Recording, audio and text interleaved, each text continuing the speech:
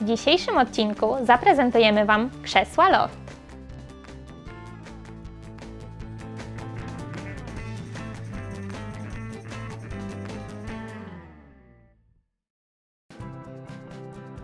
Krzesła z kolekcji Loft mają metalowe nogi o ciekawym kształcie. Zarówno siedzisko, jak i oparcie jest tapicerowane. Ja dzisiaj pokazuję Wam krzesło w tkaninie Terra 99.